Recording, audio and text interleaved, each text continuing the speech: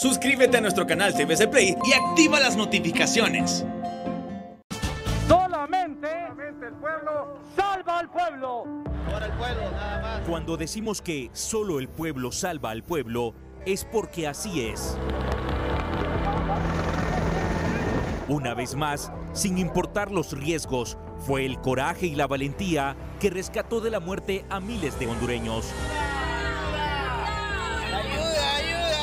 Lloro, no por mí, sino por todos, porque me duele. Una vez más, el pueblo fue solidario y generoso, porque a pesar de las adversidades, así es nuestro pueblo. Así lo creemos en hoy mismo. Del pueblo para el pueblo, solo el pueblo salva al pueblo, así es. Por eso, en tiempo de emergencia, pandemia y en todo tiempo, hoy mismo, un compromiso con Honduras.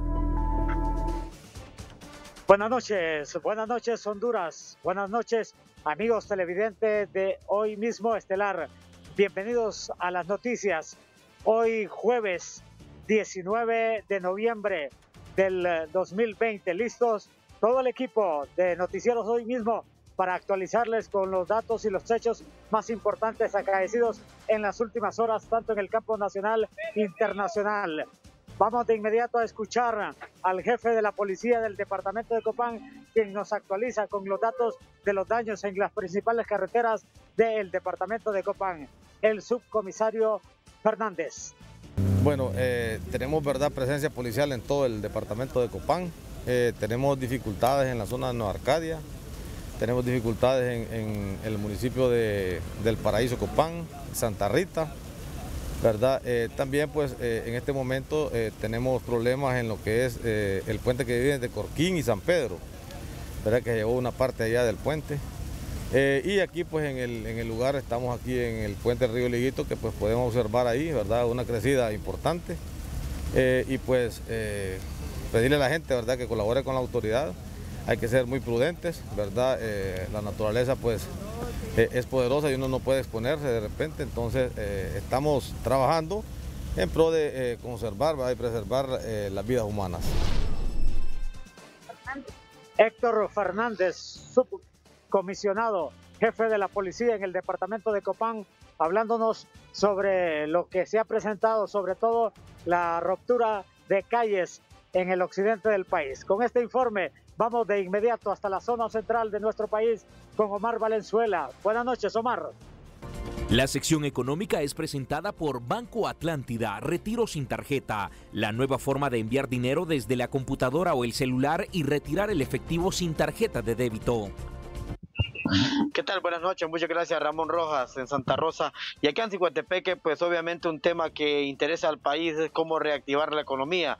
Y uno de los que va a fortalecer mucho en estos últimos meses del año y el primero del siguiente 2021 es el tema de café. Don Carlos Ramos, comercializador del grano, como también cafetaleros de la zona, dicen que esperan que debido a que el clima va mejorando poco a poco, obviamente hay buenos precios en la bolsa internacional, esto genera buena expectativa para la próxima semana. Escuchemos a don Carlos Ramos. En estos momentos, como le decía extra micrófono, pues la verdad es que la bolsa eh, de Nueva York que nos rige a nosotros, pues la verdad que está incrementando, tiene tres días de estar en, en subida, que en estos momentos oscila entre 120 a 123 dólares. Creo que sí, máxime para el productor, que en este momento usted sabe las situaciones que ha pasado eh, este año, en primer lugar por la pandemia y la otra ha sido el factor tiempo, como usted podrá ver, los dos, uh, los dos uh, fenómenos que nos han azotado últimamente, pues la verdad es que en el campo, pues las lluvias han habido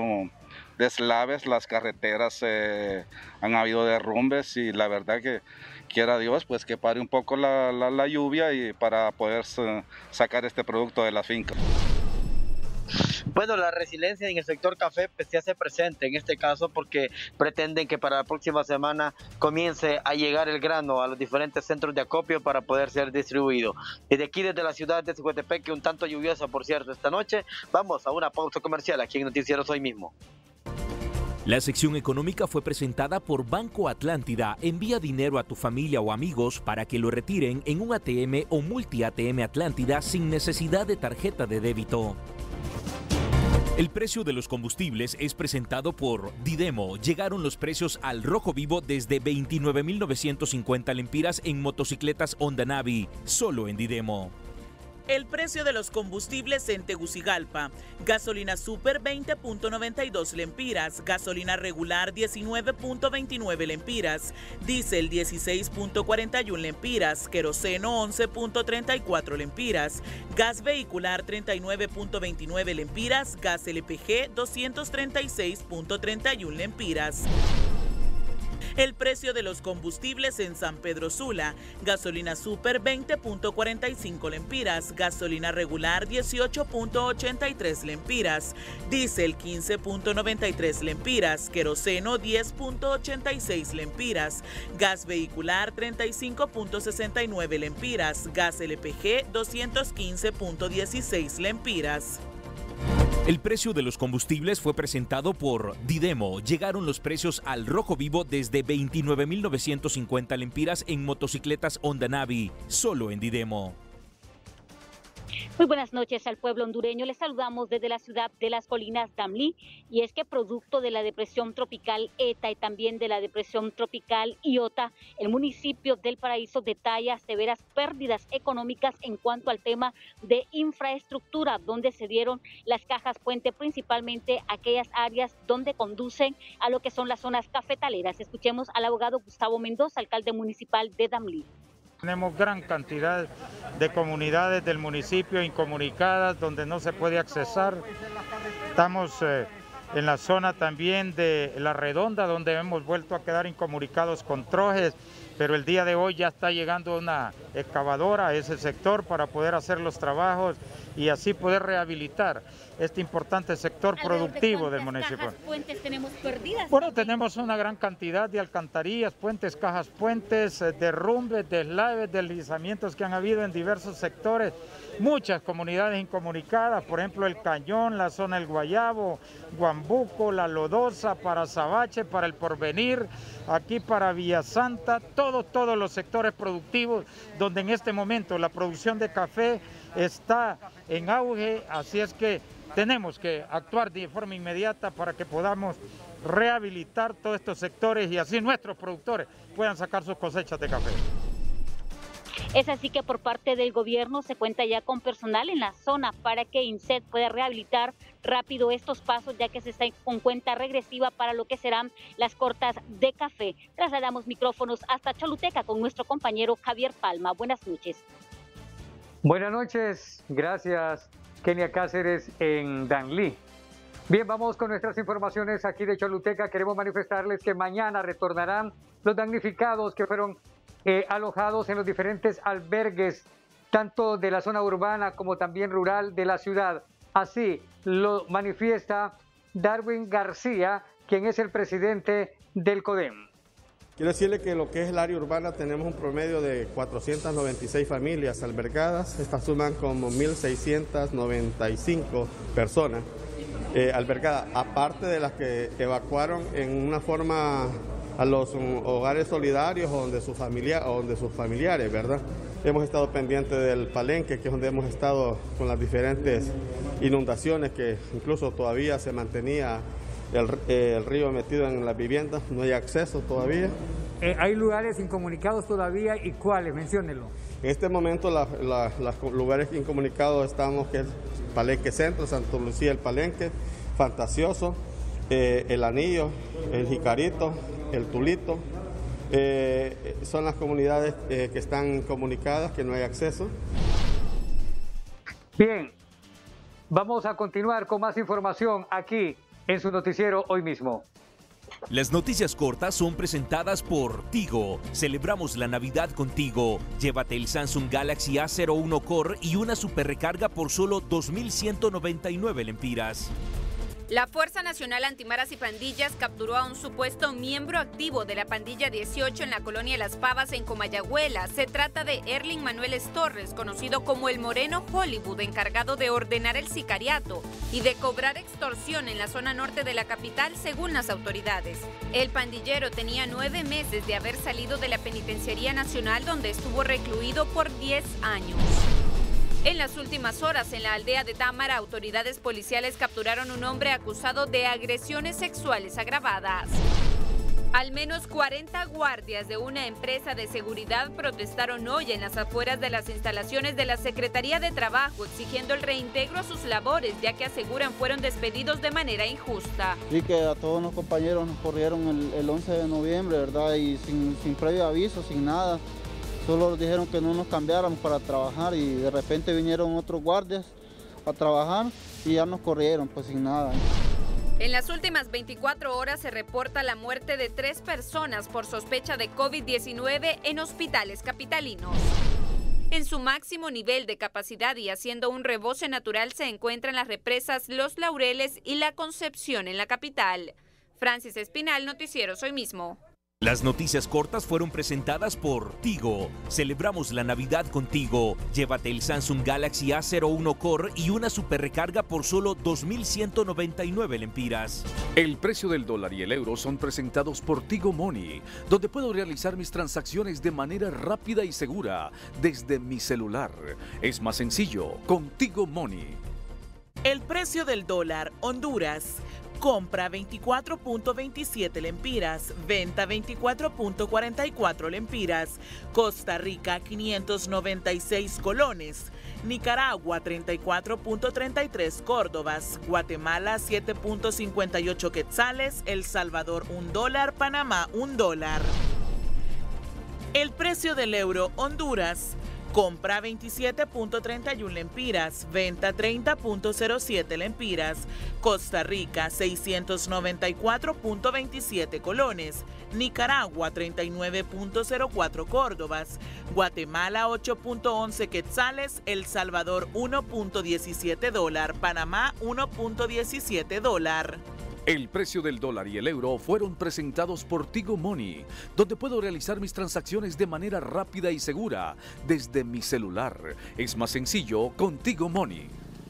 Buenas noches televidentes de Noticieros Hoy Mismo, ubicados en este momento a la altura del sector de Río Nance, donde como ustedes pueden observar a mi espalda, a esta hora continúan incomunicados. Esto, tanto los vecinos del sector de Río Nance, Río Blanquito, los del sector de Bijao. Imposible pasar hacia Puerto Cortés. Si ustedes están en Choloma y quieren ir a Puerto Cortés, es imposible debido a que al menos esta carretera, este tramo carretero, tiene una inundación de un aproximado de hasta los 7 metros, dependiendo eh, la distancia desde donde nosotros estamos ubicados, llega hasta una altura de 7 metros de agua, donde aquí solamente en lancha es la única opción de poder avanzar hacia el otro lado, como uno podría decir, para llegar a Puerto Cortés, pero son al menos unos 6 kilómetros de trayectoria.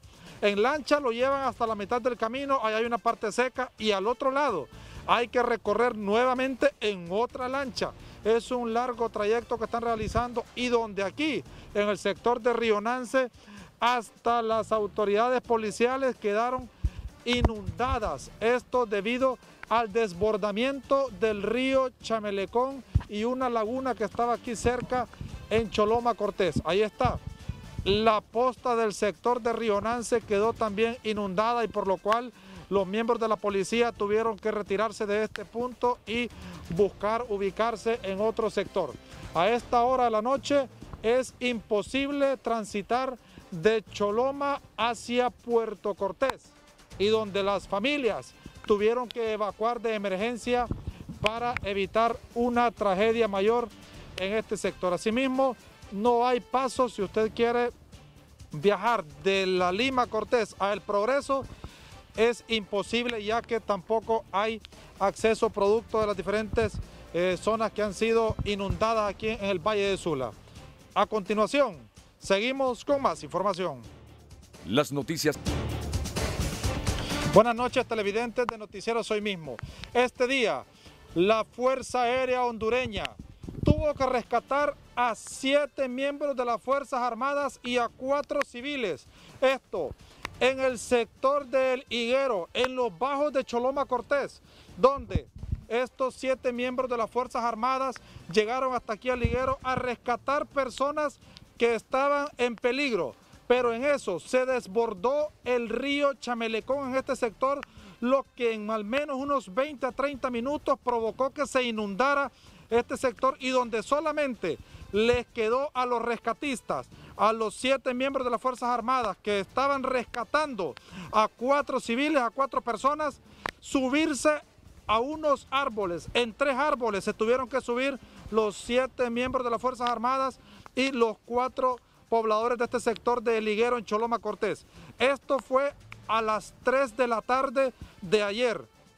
Ellos, 16 horas, estuvieron arriba de estos tres árboles y esperando a que por medio de algún, eh, por medio de que los mismos miembros de las Fuerzas Armadas vieran de que ellos no llegaban, empezaron a hacer la inspección vía aérea, por lo cual hoy la Fuerza Aérea Hondureña los ha rescatado en este sector arriba de los tres árboles. Y es por eso que Noticieros hoy mismo ha conseguido la reacción tanto de uno de los siete miembros de las Fuerzas Armadas y también de uno de los ciudadanos que ha sido rescatado y quien da gracias a Dios porque él sentía que moría al estar arriba de ese árbol y las torrenciales de agua cruzando por debajo de ellos. Los escuchamos a continuación.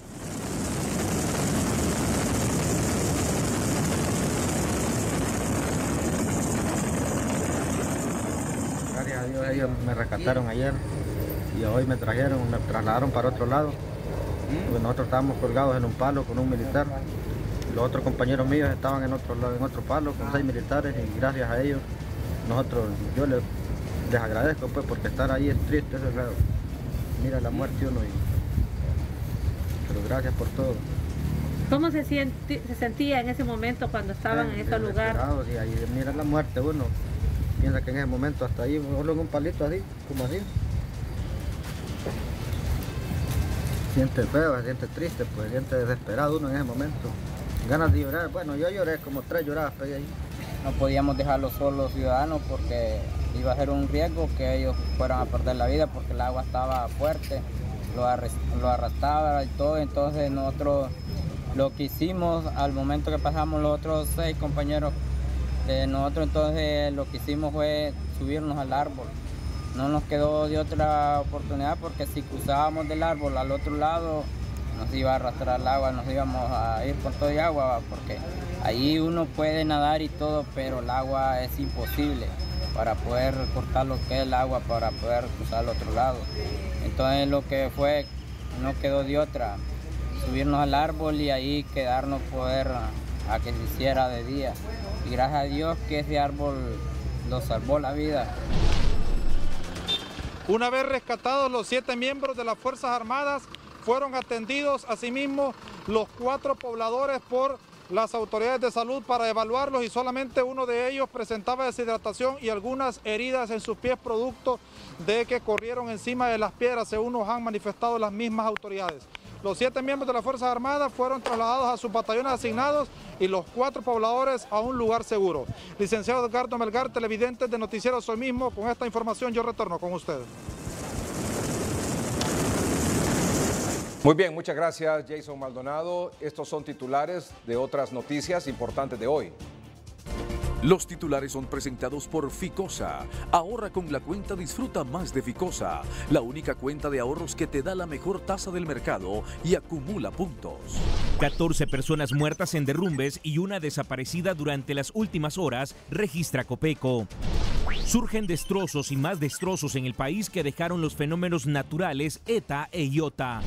Uno tras otro suceden los destructores deslizamientos de tierra en la capital por la saturación del terreno.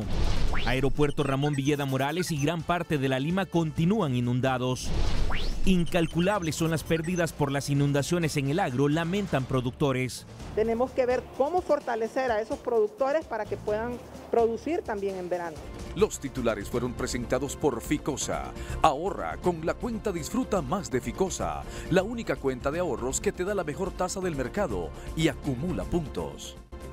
Este es su noticiero hoy mismo con Edgardo Melgar. En Santa Cruz de Ojoa, Cortés, la tierra se partió en dos como en muchos otros lugares por la saturación del terreno. Mientras las persistentes lluvias que todavía caen en algunos sectores del país a esta hora de la noche ha dejado incomunicadas muchos, pero muchas comunidades, muchos municipios en Copán, Olancho, Santa Bárbara y El Paraíso. La zona cafetalera está inundada. Estos son los detalles con Jackie Redondo.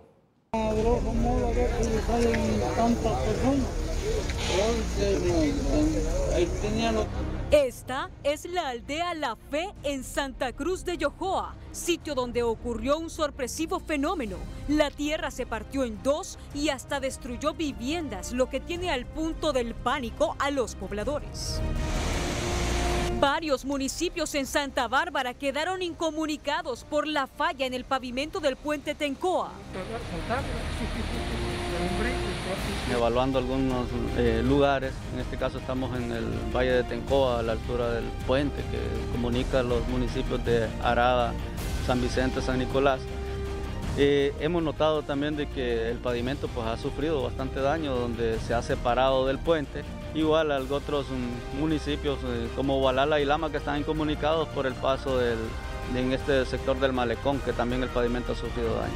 Otras imágenes de impacto son las del río Higuito en Copán, cuya corriente dejó incomunicadas a varias comunidades al dañar la carretera principal. Impresionante, impresionante cómo este río creció. Así quedó un centro de convenciones de un hotel en Copán, mientras en la playona El Paraíso Copán el nivel del río no baja. Con las de este momento actual, desastre natural.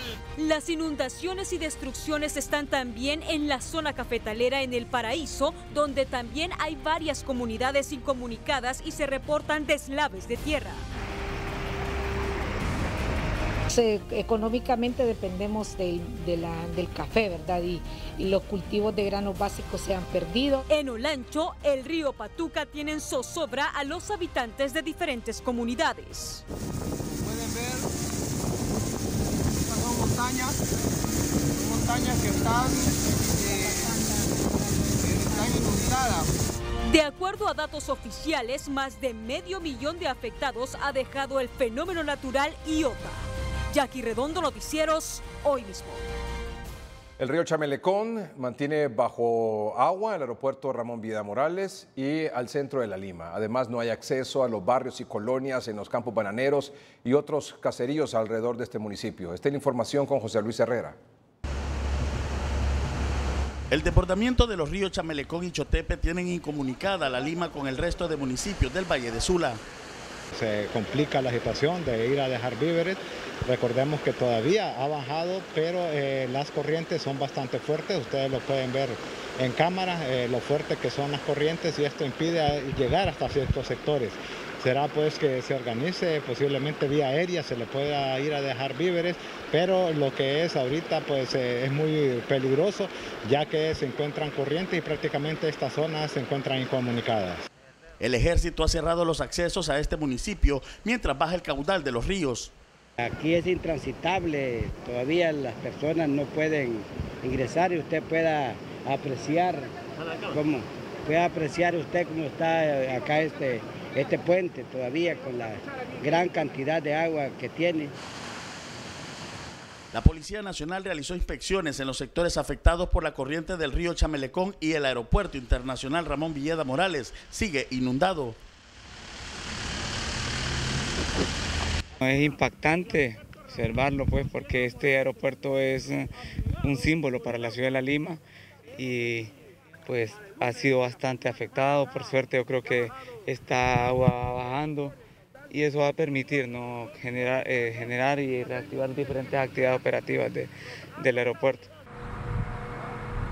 El centro de La Lima, colonias emblemáticas como La Paz, Oro Verde y zonas aledañas a los campos bananeros quedaron sin acceso producto del desbordamiento del río Chamelecón. Se quedó tapado, inundado todo Flores de Oriente, tapadita la casa. Entonces los venimos para acá, para la, para la colonia La Paz, ahí en la terraza de la patrona, ahí de la jefa. Y que los viniéramos para acá y nosotros perdimos todo allá.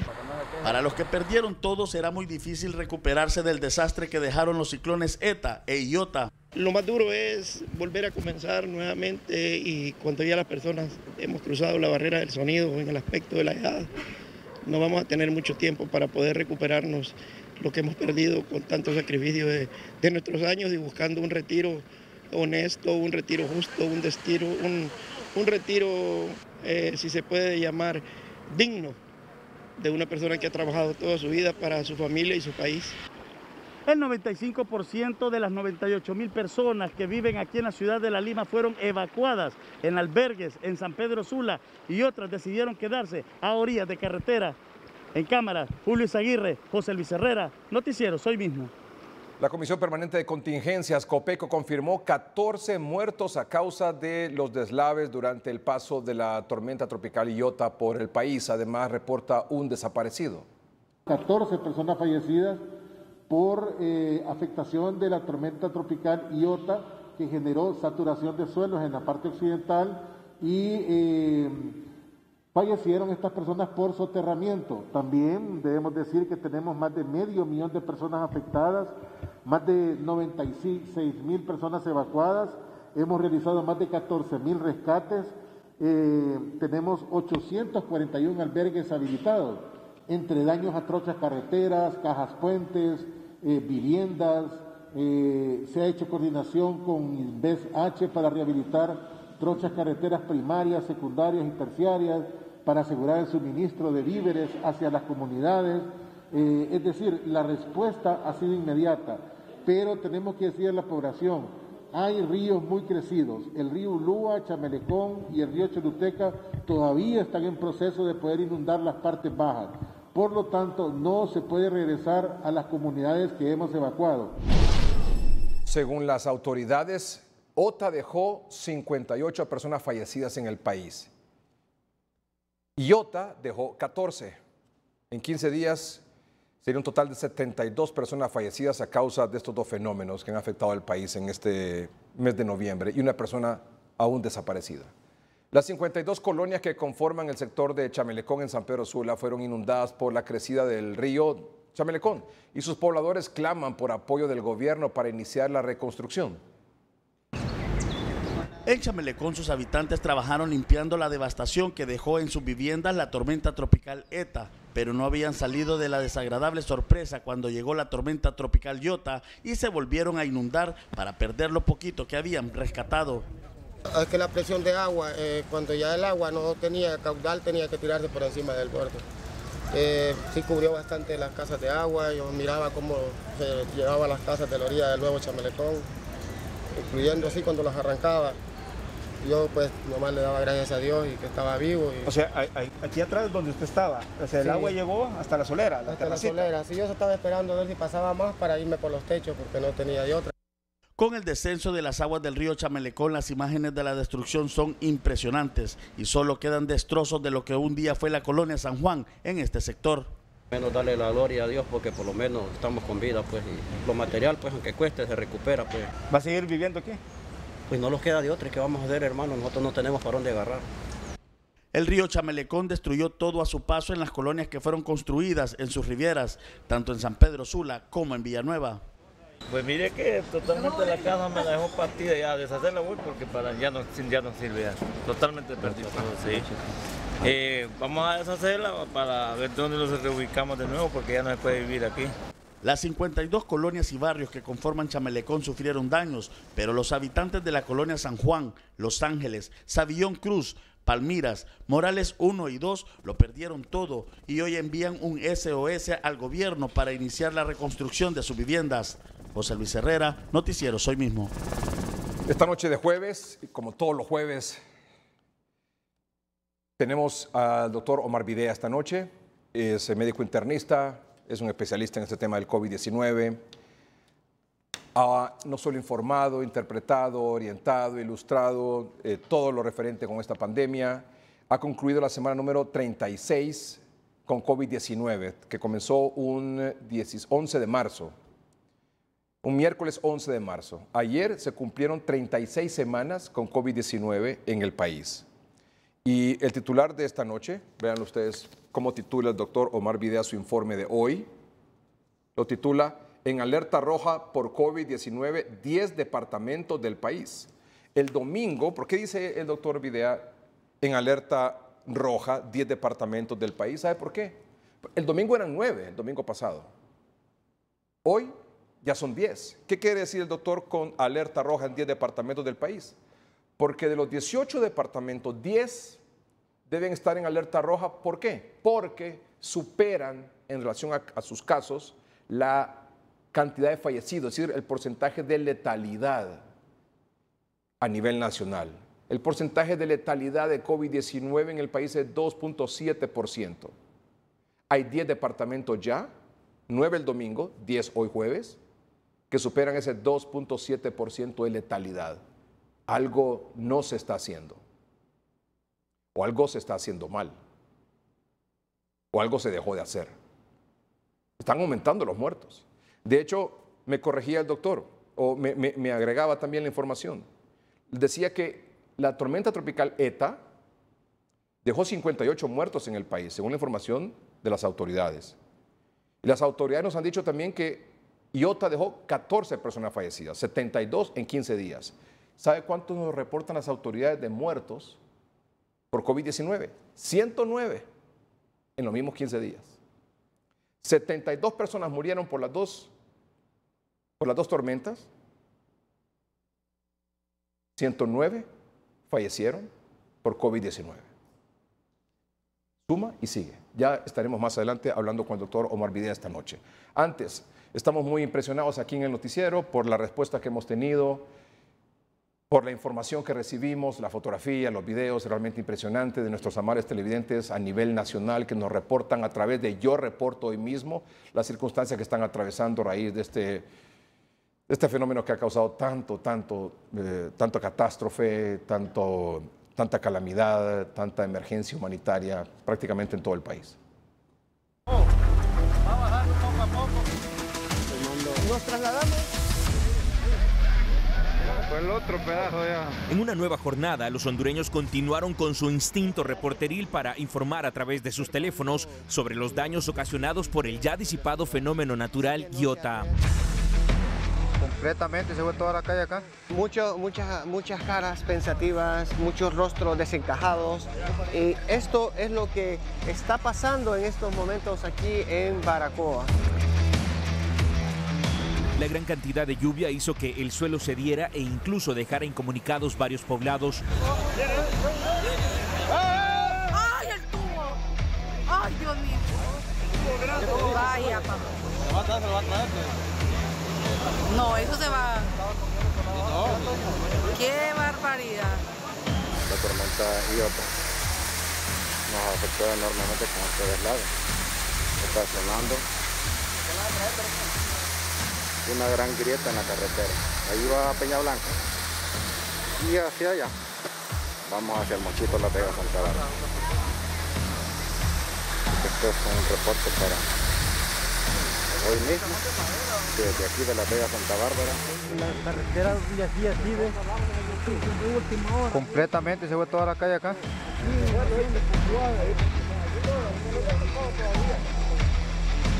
Otros televidentes mostraron el momento exacto en que ríos se desbordaban e inundaban las viviendas de los hondureños. Viene el agua, mire, este es el agua del río, ya rompió la fuente. La fuente de abajo, miren. Ya estas casitas ya empiezan a inundarse, mire. Y yo también empiezo a inundarme, así que mejor me voy de, mire. Viene el agua con más fuerza, ¿ves? El río ya rompió. Dios guarde y fortalezca cada casita que está con un buen arranque para que no se la logre llevar. La casa de Lunarejo, miren, miren, se le metió el agua ya. Podemos ver los vecinos de la colonia 19 de abril que ya están evacuando, ya están saliendo.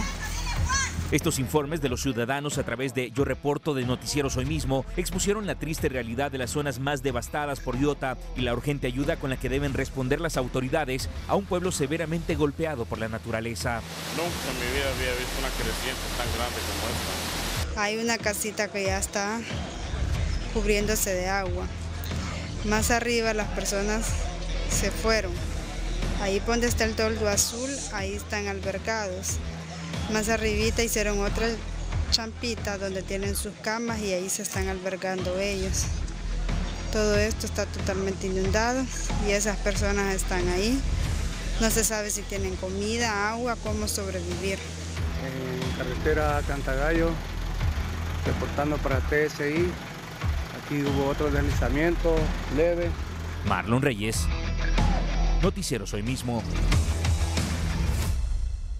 Gracias eh, por su confianza, gracias por permitirnos a través del noticiero y yo reporto poder dar a conocer la situación por la que atraviesan eh, ustedes, amables televidentes, y quienes no nos pueden ver porque tienen tantos problemas de, energía eléctrica en este momento, y, pero que a través de sus teléfonos celulares, eh, en la medida que pueden tener acceso a cargarlos, tomar una fotografía, hacer un video, y dar a conocer lo que está pasando y tratar de, por este medio, eh, alertar a las autoridades hacer algún, algo de incidencia, de influir para que vuelvan sus ojos y hagan un trabajo lo más pronto posible para salvar vidas y reconstruir lo que de inmediato se puede reconstruir.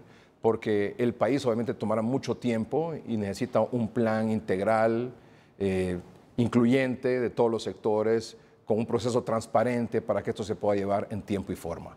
Varias viviendas destruidas y el derrumbe de muros en barrios y colonias de la capital son parte de las secuelas que se siguen presentando por el ciclón Iota. La colonia Los Pinos continúa siendo golpeada por la naturaleza. Hoy otra vivienda sucumbió por el deslizamiento de tierra. Bueno, se, se cayó primero una pared y la mitad de la sala. Y ahorita, amanecer ayer, eh, de la lluvia se partió la otra pared que ya está por caerse. La saturación de suelo hizo que un muro cediera y aplastara dos viviendas de madera en la colonia Jardines de las Colinas. Las personas que vivían en el lugar fueron evacuadas horas antes. Los vecinos de la colonia La Esperanza solo escucharon un estruendo e inmediatamente vieron que las paredes de la sala de la casa cayó al precipicio por el deslizamiento de tierra. Eh, escuchamos algo que como que eh, un ruido como algo que cayó, boom, de un solo, entonces nosotros salimos corriendo y, vimos pues que toda la parte de atrás se, dio. Y entonces ya, ya nosotros aquí adentro estamos con miedo a que eh, vaya parte de esta casa pues para abajo también, porque como esta casa ya está en el aire prácticamente. También en la colonia San Francisco, en Comayagüela, un muro de piedra se derrumbó y los afectados piden ayuda.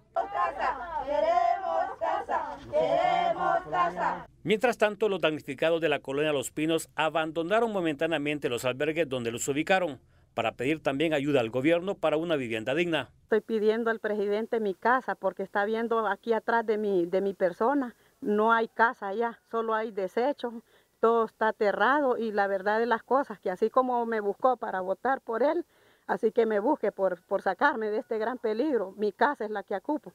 Los damnificados aseguran que no tienen a dónde ir una vez que los desalojen de los albergues. Flavio Pavón, Noticieros, hoy mismo. Le recuerdo esta noche, han concluido 36 semanas ayer miércoles de COVID-19 en el país. En alerta roja por COVID-19, 10 departamentos de 18. ¿Por qué?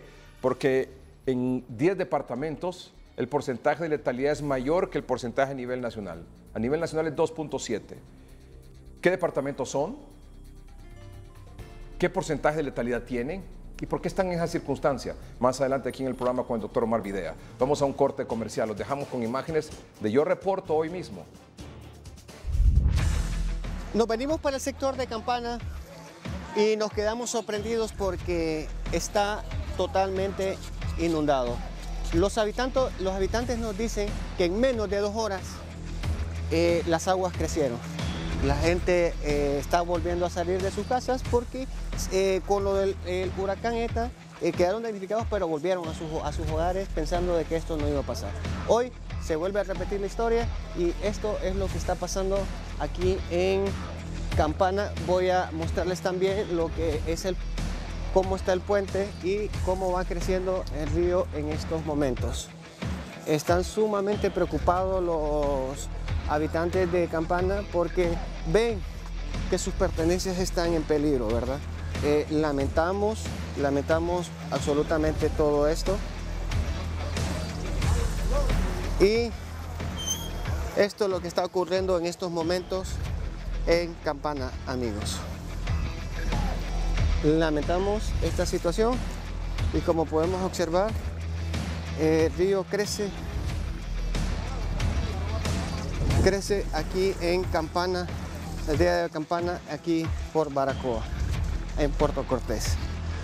Como pueden observar, la gente está monitoreando lo que es la crecida del río y algunos hogares ya están sacando sus pertenencias porque volvieron, volvieron a, sus casas pensando que no se iba a inundar y miren lo que está pasando en estos momentos. Para mí es un placer reportarles desde el Campana.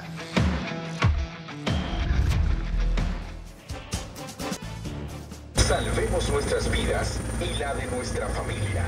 Nuevamente Honduras afronta la embestida de un fenómeno natural y nuevamente la fuerza incontrastable de hoy mismo le informa desde todos los rincones del país. Todo, las evacuaciones, los planes de contingencia, los albergues, la llegada de Iota, los riesgos, el impacto, las consecuencias, la recuperación. Manténgase bien informado con la completa cobertura de hoy mismo por TSI y en nuestras redes sociales. Incalculables pérdidas reporta el sector agrícola del país luego de la devastación causada por el paso de las tormentas tropicales, tanto ETA como IOTA, por el Valle de Sula, sobre todo. Los productores de banano en el Valle de Sula estiman pérdidas que sobrepasan los 1.300 millones de lempiras a raíz que sus fincas quedaron anegadas de agua por las crecidas de los ríos Chamelecón y Ulúa. Tenemos 2.520 hectáreas ya perdida. Cuando yo digo perdida, es pérdida total. Eso a un costo de 15 mil dólares por hectárea son 55, 56 millones de dólares, o sea, 1.300 millones de lempiras que ya están perdidos.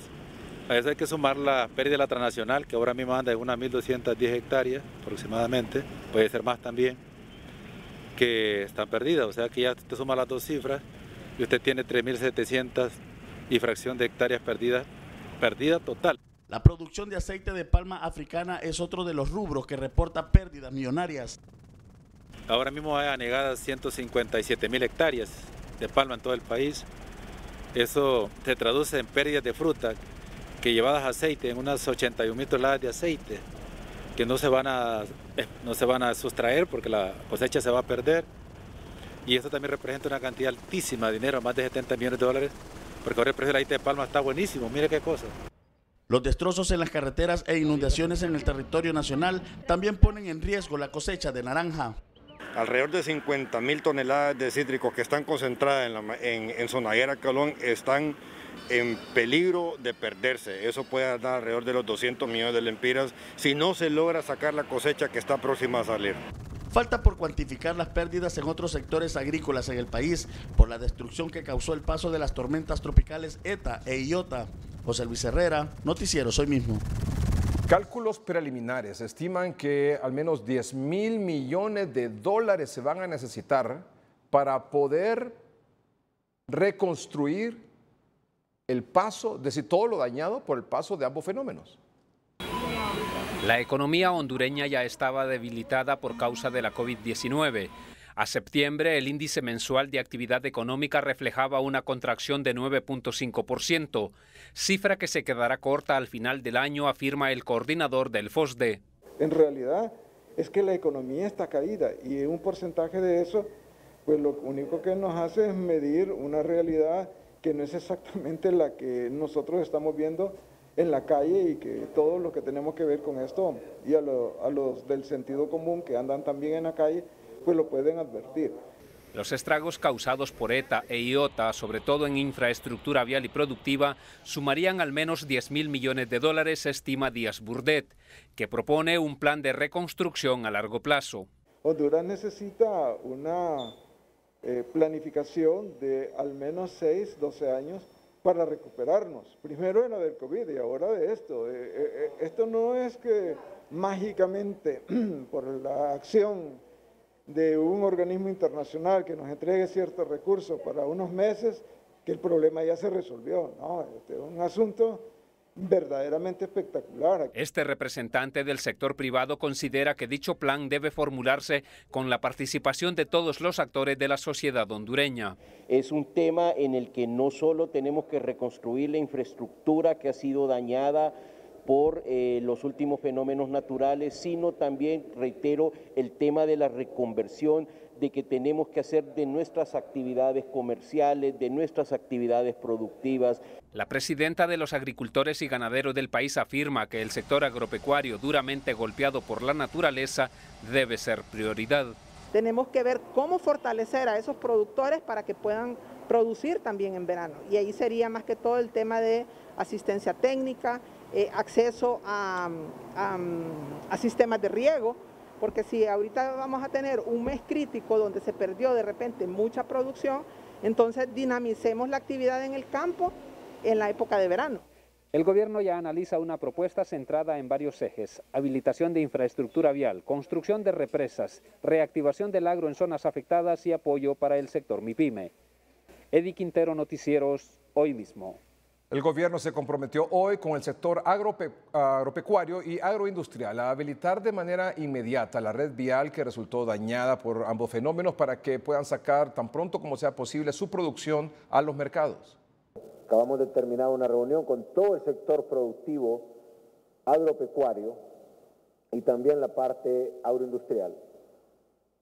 Les hemos dicho que todo lo que es la maquinaria de empresas constructoras del país, a través de Invest, Sedecoas e INSEP, ya están distribuidas en todo el territorio nacional para poder atenderlos. Sabemos que se han destruido miles de manzanas de cultivos y sabemos que en este momento es necesario llegar a limpiar el paso para habilitar que lleguen los insumos o que salga la producción.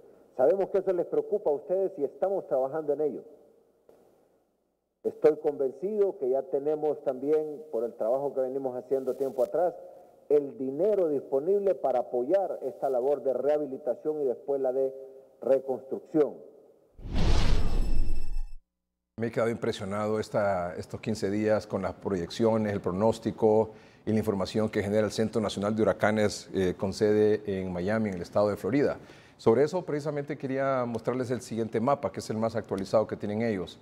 Eh, de hace, ¿qué hora? De las 6 y 47, desde el eh, tiempo del este, estamos hablando de las 5 y 47, en menos de dos horas. ¿Qué dice? Bueno, dice que por el momento, por las próximas 48 horas, no se espera ninguna, eh, la formación de ninguna actividad ciclónica.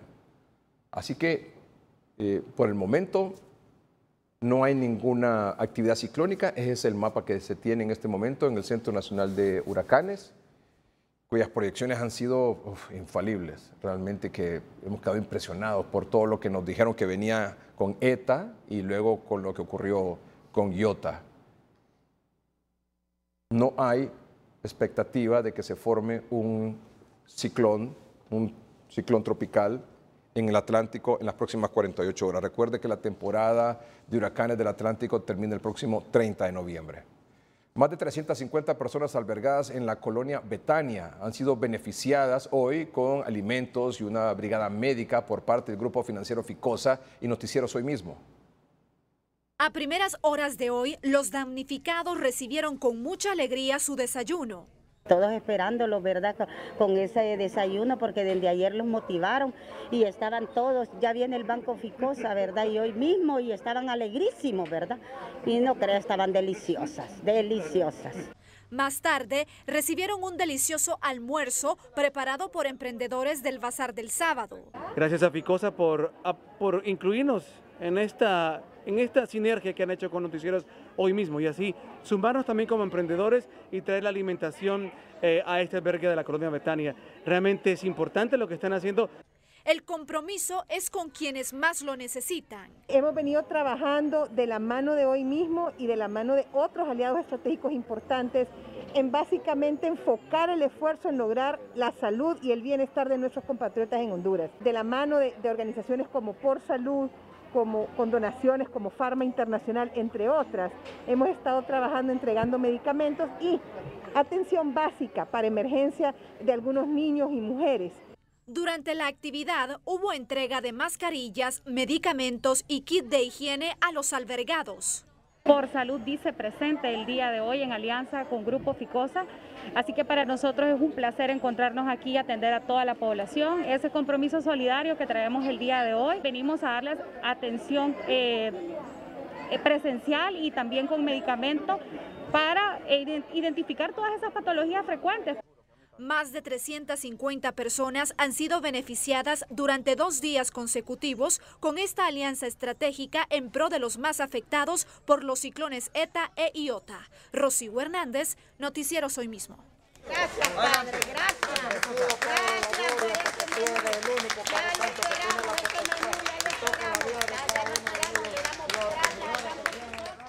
Impresionante, impresionante. Doctor, buenas noches. Gracias por estar aquí. Muy buenas noches, licenciado Ricardo Melgar, teleaudiencia de Noticieros Hoy Mismo. ¿Eso le demuestra que? Solo el pueblo salva al pueblo, sin duda alguna. Eso está claro. Se sigue evidenciando en cada momento. Sí, doctor. En cada circunstancia. Mire, eh, los efectivos de la Fuerza Aérea Hondureña, estos rescates que han hecho de las Fuerzas Armadas, la policía, los bomberos, la Cruz Roja. Impresionante. Y obviamente hay miles y miles y miles de héroes anónimos, doctor. Sí, así es. De civil. Que, se lanzaron en, en, ETA y que se lanzaron en IOTA a salvar gente. Impresionante, impresionante. Uf, te escalofrío da eso.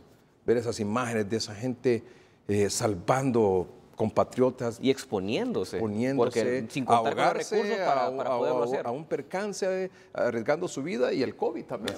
Qué impresionante, doctor. El reconocimiento Impresionante, para doctor. ellos, sin Así duda es, alguna. Así es, así es. Y también, doctor, a la empresa privada y al pueblo hondureño que ha tenido un gesto de solidaridad, pero uf, inconmensurable, doctor. Colosal, impresionante. Sí, impresionante. Como impresionante lo que está ocurriendo con el COVID. Mira, aquí está el rótulo atrás. ETA Volvemos nos a dejó. nuestra realidad. ETA, sí, volvemos a nuestra realidad que hay que, que- que- que- afrontar. 58 ETA, 14 IOTA, 72 fallecidos en 15 días. Y en estos mismos 15 días, 109 hondureños fallecieron por COVID-19, vamos, o sospechosos de COVID-19. Hay dos noticias importantes esta noche, doctor. Bueno, dos malas y una buena. Dentro de todo. Dentro de todo y todo. Hay dos noticias con COVID, me refiero. Dos malas, una buena. Cuando regresemos. Solamente, el pueblo salva al pueblo. Ahora el pueblo, nada más. Cuando decimos que solo el pueblo salva al pueblo, es porque así es. Una vez más, sin importar los riesgos, fue el coraje y la valentía que rescató de la muerte a miles de hondureños.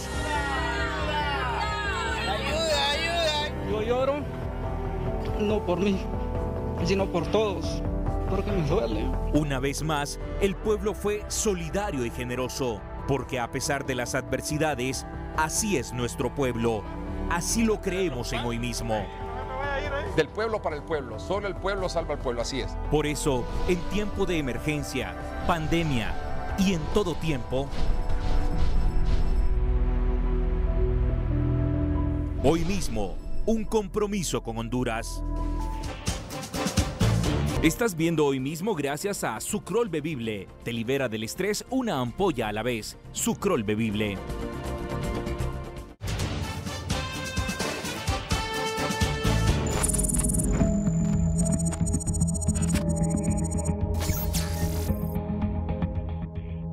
Bueno, eh, primero el informe de los hallazgos de la semana 36. 36 Con semanas. COVID-19. Recuerden, de 11 de marzo, fue un miércoles. Un miércoles. un 11 de marzo que se detectó el primer caso COVID-19 en el país. De entonces para acá han pasado 36 semanas. 36. Eh, 11 de diciembre serían nueve meses, ¿verdad? Así es. El 11 nueve de diciembre, meses. meses. Estaríamos cumpliendo Muy bien. próximamente. Y después tenemos eh, tres noticias. Dos malas, una buena. Ya lo verán. Bueno, y el doctor lo titula en alerta roja por COVID-19, 10 departamentos del país. Ya lo verán ustedes por qué. Y esa es la gráfica de entrada, doctor. Sí. no se anda por las ramas. Veamos la gráfica que tiene el doctor esta noche del cómo, cómo tiene el mapa eh, eh, de color eh, de acuerdo a la alerta que deberíamos de tener en Honduras por letalidad. Como usted bien lo mencionaba en la introducción, eh, tenemos en este momento ya 10 departamentos en alerta roja. Y estos 10 departamentos en alerta roja significan que tienen una tasa de letalidad superior a la tasa de letalidad nacional, que es el 2.7%. Y vemos cómo eh, en este momento vemos departamentos eh, como lo es Comayagua, el departamento de Copán, Olancho, gracias a Dios, Santa Bárbara, Lempira, Cortés, el departamento de Colón, El Paraíso y el décimo en sumarse del domingo a la fecha es el departamento de Atlántida. Y es por eso que se grafica ese mapa en color rojo en esos 10 departamentos que superan la letalidad, que van desde 2.71% el departamento de Atlántida hasta el departamento de Comayagua, que tiene la letalidad más alta con el 5.16%. Y en amarillo, mucho ojo, porque así como eh, Atlántida estaba en un color amarillo el día domingo, en alerta, en alerta de poder pasar a ese color rojo de superar la letalidad nacional. Estamos en este momento con 10 departamentos donde las personas que están eh, enfermando en relación a las que fallecen nos están superando. Porcentaje de letalidad. ¿Cuáles son estos departamentos? Bueno, ahí está el doctor con- confirmando la información, pero ya con porcentaje. 5.16% Comayagua, doctor. 5.16%, 4.16% Lancho y 3. punto, eh, Copán, eh, 4.16 y 3.98 el departamento de Lancho. Estos eh, tres departamentos hemos visto cómo durante todos los últimos tres meses han compartido estas posiciones, pero el departamento de, de Comayagua en este momento se está distanciando aún Sí, más. Tremendo.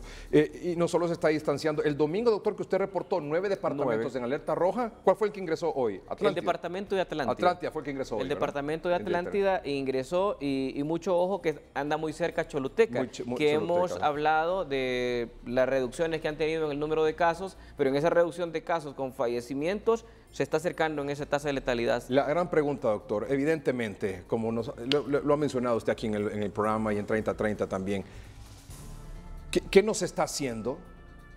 ¿O qué se está haciendo mal? ¿O qué se dejó de hacer? ¿Por qué, más, de- por qué Copán, eh, Comayagua y- Olancho, y, Olancho han, se han estado sostenidos por tres, cuatro meses con el mayor porcentaje de letalidad? Esto no ha cambiado, doctor, y más bien otros departamentos están entrando en la misma circunstancia. ¿Por qué esto, doctor? Sí, la sumatoria de los departamentos en alerta roja o los que superan el 2.70 de la letal- letalidad nacional está siendo producto de que nos hemos descuidado. Y cuando hace dos semanas teníamos siete departamentos en esa alerta roja, hoy se han sumado tres más y contamos las últimas dos semanas en relación a los fenómenos ocurridos en las últimas semanas que han bajado la guardia en relación a la estrategia que de por sí no ha sido completa en ningún momento de los ocho meses, que hay que dejarlo establecido, pero que en este momento se ha eh, intensificado aún más el, el descuido que ha existido en relación a buscar los casos eh, de manera temprana, a buscar los casos en esa atención primaria que ha faltado y que hemos visto que los departamentos en el interior prestan esas condiciones en función de que hay un personal que conoce la población y que puede ser fácilmente identificado los casos en relación a una población con una densidad menor a lo que son los departamentos de Cortés. O sea, la falta de detección temprana, la falta de, de seguimiento, la falta de centro de estabilización para Así atender es. a pacientes que ya en condición grave in- eh, permite que estos departamentos Olancho, Comayagua, eh, Copán se encuentren así con este porcentaje de letalidad que ha ido aumentando en estos tres departamentos en los últimos tres, cuatro meses y que estén ingresando otros en la misma condición. Sí, porque estas personas, si bien es cierto, no hay tantos contagios en relación a Francisco Morazán y Cortés, pero en relación a esos contagios que se dan en esos departamentos, la probabilidad de fallecer es muy alta porque no hay detección temprana, entonces la gente llega complicada. Entonces, por ejemplo, en, en Francisco Morazán, en San Pedro Sula, donde mayo, junio comenzaron. ¿se acuerdan que Sí. aquellos meses tan duros para nosotros aquí, insistiendo con las brigadas, insistiendo con los centros de atención, con los centros de triaje? Bueno, finalmente en mayo y junio comenzaron las brigadas y comenzaron los centros de triaje, los centros estos de, de- de atención a pacientes sospechosos o con COVID. Eh, eh, en estos departamentos, si bien hay más casos, pero hay más, más- más acceso a la salud, más acceso a ese tipo de atención a través de las brigadas y a través de los centros de triaje. Así es. Eh, Son en, cambio, en, en cambio, en estos otros... eh, Muy y- y- pocos. Y, tenemos hospitales, el Hospital María, el Hospital Escuela, el Hospital San Felipe, el Hospital el del Tórax, entre, es decir, cuatro y más los privados, que, que tienen unidades de cuidados intensivos. En, en esos otros departamentos no. Solo uno o dos departamentos lo tienen, que es en el departamento de Copán Pero y si hubiera habilitado un centro de estabilización, Sí. doctor, para pacientes Ent- ahí. Entonces, ¿qué ha pasado? Eh, todavía pasaron, han, han transcurrido ocho meses en los cuales no hemos podido fortalecer esa red de atención en el área, en el interior del país. No, eh, eh, no- no se ha podido implementar esa red de atención primaria y fortalecer lo que ya Con se las tiene. nuevas estrategias que se han visto en los departamentos de Francisco Morazán y de Cortés. ¿Porcentaje de decesos según rango de edad, doctor? Según rango de edad estamos viendo que el 61.4% de las personas que han fallecido en el país, de los 2.839 casos que se han confirmado, están en una edad superior a lo que son los 60 años. O sea, el 14% son los- en la población que enferma mayor de 60 años, pero cuando toca hacer la distribución proporcional de los decesos, los adultos mayores representan el 61.4%. Y en esta semana los, eh, los fallecidos que se reportaron son de...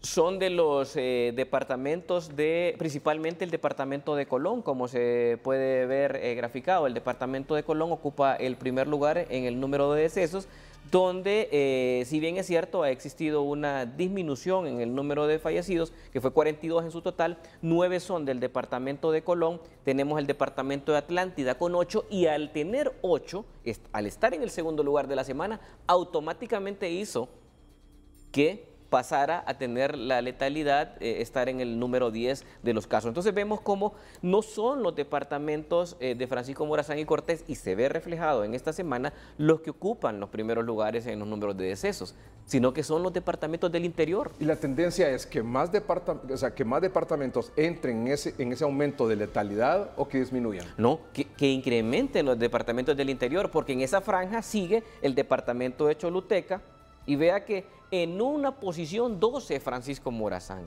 en la posición 12, es el segundo en el número de casos, pero es el 12 en relación a la, tasa de letalidad. Esto es muy similar a Espérame, los jóvenes espérame, que espérame, repi- repítame eso.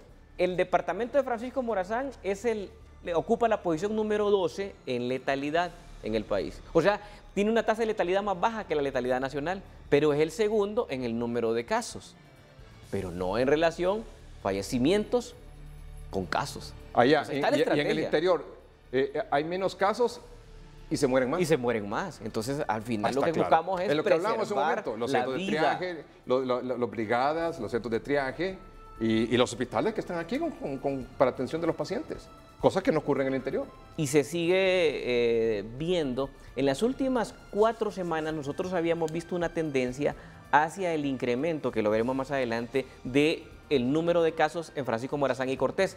Pero en este momento, en esta semana, ya nuevamente los departamentos del interior del país comienzan a ocupar eh, los primeros lugares. Distribución de decesos por semana. Sí, eh, tenemos un, de- un, un descenso del 37%, porque existen eh, tre- 25 casos menos de fallecimientos en comparación a la semana número 35, pero que en la sumatoria nos resulta 109 decesos.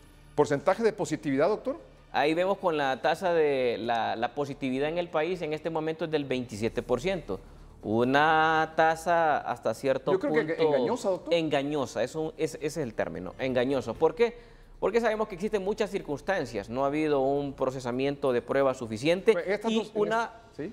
probable, eh, pues el, el- el mantener o el poder transportar estas pruebas del interior del sí. país y mantener la calidad Sí. nos da un escenario de probables eh, falsos negativos, o sea, gente que tiene el virus que le resulta negativa la prueba por las circunstancias que han existido en las últimas semanas. Bueno, y es entendible, esta- esta- estas dos semanas. Lo que yo no comprendo y no entiendo y me resulta molesto y lo voy a expresar públicamente es que después de ocho meses de pandemia, el día de ayer no se registraron pruebas, no se procesaron pruebas. Cuando vemos que nuestros hermanos centroamericanos que han sido golpeados también por estos fenómenos no han parado la lucha, porque han dividido sus equipos. Usted se encarga como institución de atender damnificados, atender albergues, pero la pandemia no me la pueden descuidar.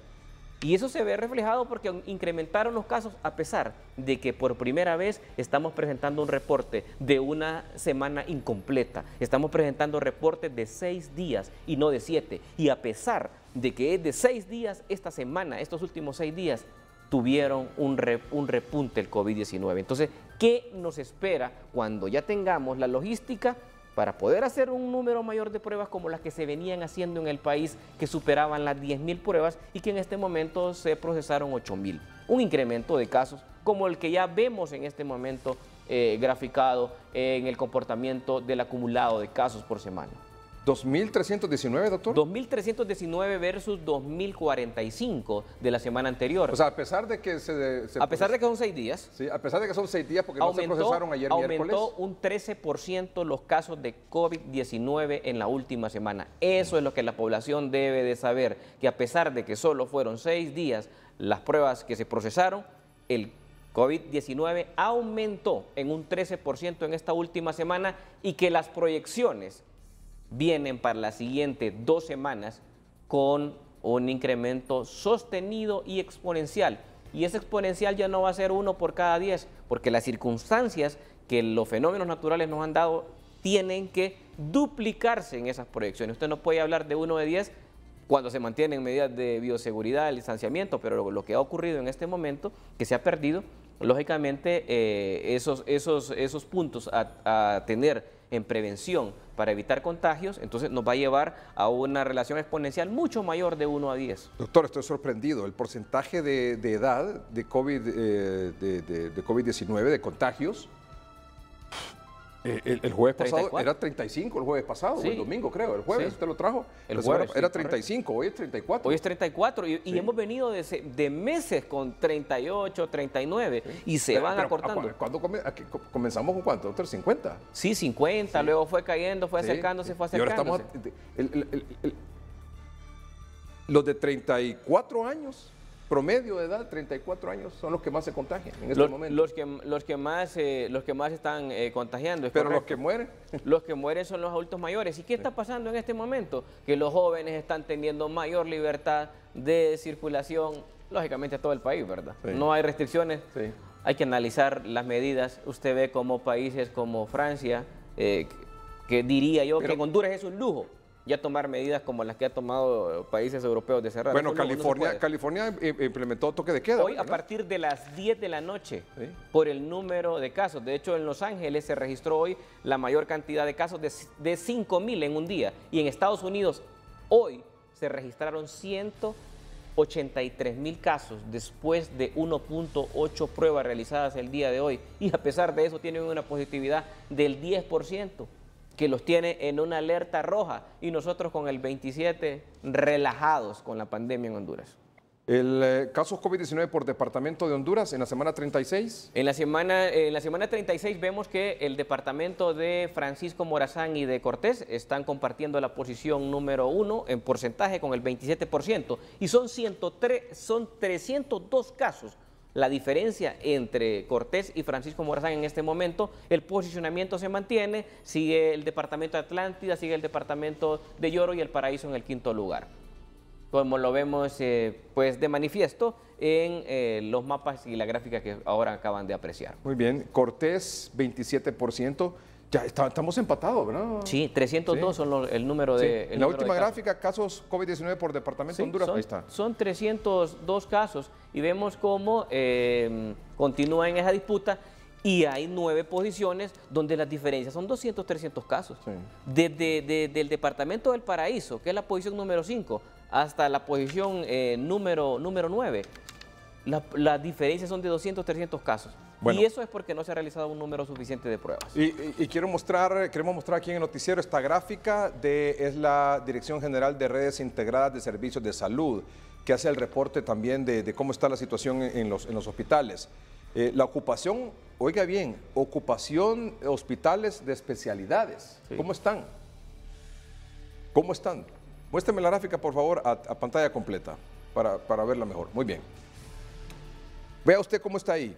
El, tórax aquí en Tegucigalpa, 36% sala COVID, 63% la UCI.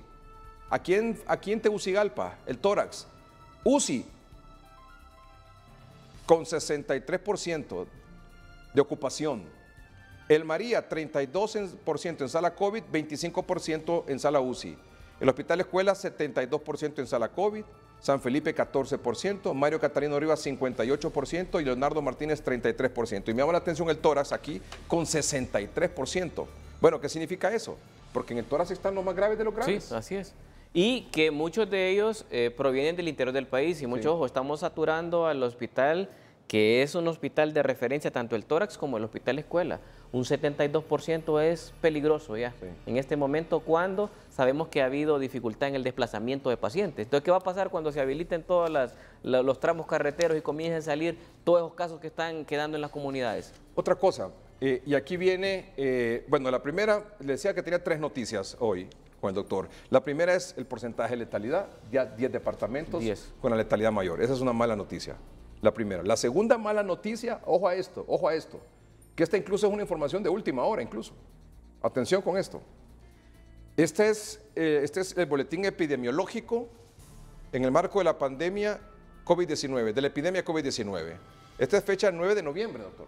Sí. Documento oficial, ¿verdad? 9 de noviembre. Sí. Este es un documento oficial. Muy bien. Este es un documento oficial. Sí. ¿Qué dice este documento? Vea usted lo que dice este, este documento.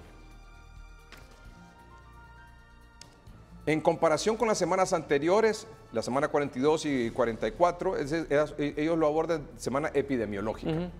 Las que nosotros hacemos son semanas COVID. Bueno, la semana epidemiológica, eh, la CESALA ha reportado un promedio de un 35% menos en pruebas realizadas de PCR y se han reportado un 44.5% menos casos de COVID-19. ¿Verdad? Menos pruebas, menos menos casos. casos. Muy bien, vamos para abajo. Consecuentemente, todas las tasas e indicadores de seguimiento del COVID-19 han sido afectadas, mostrando una aparente disminución que pudiera ser inconsistente con la realidad pandémica. Aquí lo decíamos con el doctor, engañoso. completa. Bueno, lo anterior sucede mientras por los medios de comunicación se filtra que en clínicas y centros de triaje donde se están realizando pruebas rápidas se reporta una alta positividad de las mismas, lo cual es correcto. Eh, adjuntamos mapas de la semana epidemiológica 45 y la 46, los cuales se construyeron con los reportes de la CESAL, es decir, la Secretaría de Salud, que no nos permite estar seguros de la veracidad del dato. Bueno, y vean, aquí está la noticia, la segunda mala noticia. Tremendo eso. En el último párrafo de análisis de Sinajer, de la unidad de epidemiología de Sinajer, dice lo siguiente. Otro particular de interés. Mortalidad hospitalaria por COVID-19 ha sido revelada por la misma fuente, es decir, muertes hospitalarias en el segundo nivel de atención, mostrándonos, atención a esto, mostrándonos datos alarmantes de decesos de casos sospechosos, entre comillas, en el Distrito Central. Esto significaría 3.054 muertes más no contabilizadas desde el inicio de la pandemia. Venga acá. Qué desastre. Qué Wow. desastre. Uf. No, eso es eh, Dice Sinajer lamentable. que hay un reporte de datos alarmantes de decesos de casos sospechosos, o sea, que no se confirmaron nunca, o que probablemente se confirmaron en algún momento, no sé. Y que eh, probablemente en el acta de función se puso sospechoso. Sí. Sospechoso. En el solo en el Distrito Central. Siempre hemos hablado de un subregistro, doctor. En el caso de los muertos. Y aquí lo están confirmando. ¿Y sabe cuánto es el subregistro? Solo en el Distrito Central. 3.054 muertos más no contabilizados desde el inicio de la pandemia. ¿Cuántos datos, cuántos son los oficiales, doctor? 2.839 y con esos 3.054 se estaría llegando a 5.893, que nos daría una tasa de letalidad del 5.69%. Oh. Es Nos decir, la tasa, la la tasa de letalidad, ¿con, lo- con- con los cuántos son? ¿2.000? Con los 2.839 es 2%. 2.839 hasta hoy, ¿verdad? Hasta hoy, sí, correcto. Muy bien. Hasta antes que salga el comunicado Sí, de hoy, que de esperemos hoy. que se hayan procesado. Que Bueno, hayan hecho. Dos 2.839 con esos, con esos, eh, Con esos fallecidos, fallecidos, oficiales. 2.7. Ajá. Ahora esos 2.839, súmele. 3.054. ¿Cuántos son? 5.893. ¿Cuál, cuál sería la tasa de, de letalidad? 5.69%. Terrible eso. Oh. Terrible. Terrible. Hágame un comentario de eso, doctor, por favor. que ¿Cómo, No, cómo es esto, esto solamente eh, confirma lo que hemos venido hablando de un subregistro en el número de casos y eso ya se vio evidenciado y aquí en el noticiero se dio la noticia cuando se dijo que, el- que los casos estaban aumentando en el Distrito Central porque habían una cantidad de más de 2.000 casos que no se habían reportado por parte de los laboratorios privados. Lamentable esto. Bueno, con esos 5.893 tenían razón la funeraria, doctor. Coincide. Hablaban Coincide. de 5.000. Sí, hablaban de 5 mil y Seis pico, mil. casi 6 mil. Mire, coinciden, coinciden. Tremendo esto, tremendo, tremendo. Por favor, mire, insisti- insistimos mucho, estamos cerrando el noticiero ya, pero insistimos mucho en eso, por favor. Yo sé que hay hastío, hay hartazgo, hay cansancio, hay... eh, no queremos muchas veces ni saber ni que nos aborden ese tema, pero es nuestra responsabilidad decirles esto. Esto está pasando, esto está pasando, esto está pasando. Y es la responsabilidad de esta empresa, de este medio, decir lo que está ocurriendo. Esto, por favor, que nos, nos llame la reflexión, el comportamiento de los jóvenes. Sigámonos cuidando, por favor, todos. Sigámonos cuidando, cuidemos a nuestros mayores. Cuidemos a nuestros mayores, esto es terrible. Dos tremendas noticias, 5.893 muertos serían, con ese dato de, de Sinajer, eh, eh, terrible. 10 departamentos ya con un eh, porcentaje arriba de letalidad, pero cerramos con una buena noticia.